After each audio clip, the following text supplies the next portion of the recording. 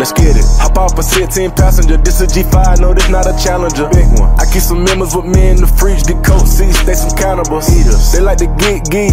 Drink a whole bottle, wake up and repeat. Damn. She took a look, mixed it with the chill out. Now she say she saying 3D. Wow. I go in the jungle and they got a coat. I bet I come out with a mean. I bet I do this shit for the fam. Cause this shit bigger than me. Big. Color thumbs in my infinity.